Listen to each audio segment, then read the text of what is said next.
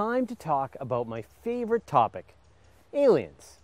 We've covered the Fermi paradox many times over several episodes of The Guide to Space. This is the idea that the universe is huge and old, and the ingredients of life are everywhere. Life could have and should have appeared many times across our galaxy, but it's really strange that we haven't found any evidence for them yet. We've also talked about how we as a species have gone looking for aliens, how we're searching the sky for signals from their alien communications, how the next generation of space and ground based telescopes will let us directly image the atmospheres of extrasolar planets. If we see large quantities of oxygen or other chemicals that shouldn't be around, it's a good indication there's life on that planet. We've even talked about how aliens could use that technique on us We've been sending our radio and television signals out into space for the last few decades. Who knows what crazy things they think about our historical documents? But life itself has been broadcasting our existence for hundreds of millions of years. Since the first plankton started filling our atmosphere with oxygen, a distant civilization could be analyzing our atmosphere and know exactly when we entered the industrial age.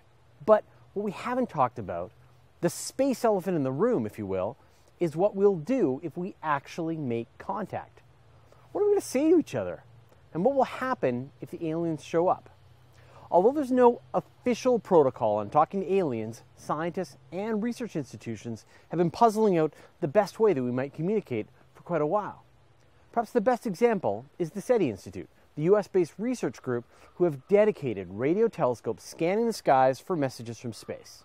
Now let's imagine you're a SETI researcher and you're browsing the last night's logs and you see what looks like a message. Maybe it's instructions to build some kind of dimensional portal or a recipe book. Now, whatever you do, don't try out the recipes. Instead, you make absolutely sure you're dealing with some kind of natural phenomenon. Then you need to reach out to other researchers and get them to confirm the signal.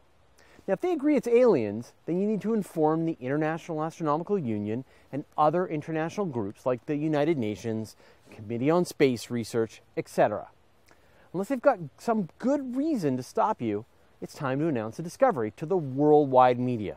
You made the discovery, you get to break the news to the world. Now, at this point, of course, the entire world is going to freak right out. So, whatever you do, however, you have to resist the urge to send back a message or build that dimensional portal no matter how much you think you understand the science. Instead, let an international committee mull it over while you stockpile supplies in a secret alien proof bunker in the desert.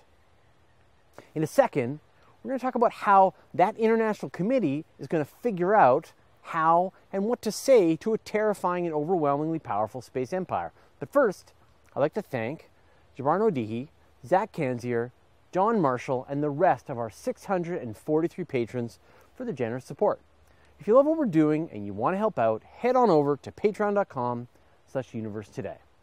What kind of message should we actually craft to our new alien pen pals?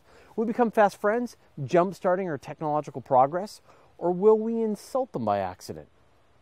In 2000, an international group of SETI researchers, including the famous Jill Tarter, devised the Rio scale. It's really easy to use, and there's even a fun online calculator. Step one figure out the class of phenomenon. Is it a message sent directly to Earth expecting a reply? Or did we merely find some alien artifact or old timey Dyson sphere orbiting a nearby star? Step two how verifiable is the discovery? Are we talking ongoing signals received by SETI researchers or a hint of some old data that's impossible to confirm. Step three, how far are we talking here? Hovering over Paris, within our solar system, or outside the galaxy? And step four, how sure are you? 100% certain and everyone agrees because they can all see that enormous mothership floating over London? Or nobody believes you and they've locked you up because of your insane ramblings and misappropriation of government equipment? punch in your numbers and you'll get a rank on the Rio scale between 0 and 10. Level 0 is no importance or you're a crank, while level 10 is extraordinary importance or now would be a good time to panic. SETI researcher Seth Shostak calculated the Rio scale for various sci fi movies and shows. The first message from Aliens and Independence Day would count as a 4, while the obliteration of the White House by a massive floating alien city that everybody could see would count as a 10. The messages received in contact and independently confirmed by researchers around the world would qualify in the 4 to 8 range, while the monolith discovered on the moon in 2001 would be a solid 6. So now you know how important the discovery is. What do you say back to those chatty aliens? This falls under CETI, which means communication with extraterrestrial intelligence, which shouldn't be confused with SETI or the search for extraterrestrial intelligence. Well, it turns out that horse has already left the stable. When the Pioneer and Voyager spacecraft were constructed, they were equipped with handy maps to find Earth's precise location in the Milky Way. In 1974, Carl Sagan and Frank Drake composed a message in alienese and broadcast it into space from the Arecibo Observatory. In 1999 and 2003, a series of signals were transmitted towards various interesting stars. The messages contained images of Earth as well as various mathematical principles that could be used by aliens as a common language. We'll know if that was a good idea in a few decades. In 2015, scientists like David Grinspoon, Seth Shostak, and David Brin collected together to discuss if it's a wise idea to send messages off into space to broadcast our existence to potentially hostile alien civilizations.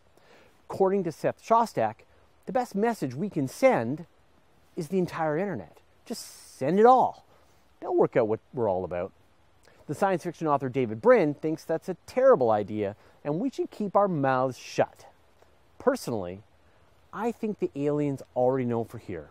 If they wanted to invade and destroy our planet, they would have done it millions of years ago when early life made it obvious this planet was inhabited. Jig's up. It's a mind bending concept to imagine what life might be like if we knew with absolute certainty there's an alien civilization right over there on that world. I'm sure people will freak out for a while, but then we'll probably just go back to life as normal. Human beings can get bored by the most surprising and amazing things. If you learned there was definitely an alien civilization out there, how do you think humanity would respond? Let me know your thoughts in the comments. In our next episode, we talk about interesting kinds of multiple star systems. Oh, and make sure you stick around for the blooper. Even if the aliens do come to invade our planet, we'll be able to see them coming. How much advance notice would we get of an inbound invasion fleet? Here's a video that talks about the physics of alien detection. Step two. Let's do that again.